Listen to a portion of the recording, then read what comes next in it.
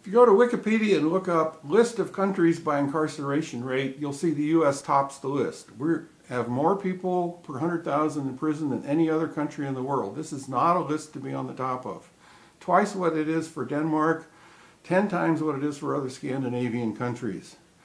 It's a, it's a national disaster. In 1990, there was a crime wave. Read the book Freakonomics to learn more about that.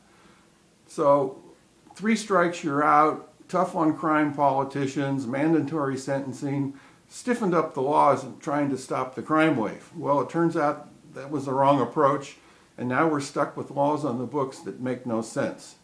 The cost in terms of dollars and people's lives and families being broken up is, is a, a national disgrace.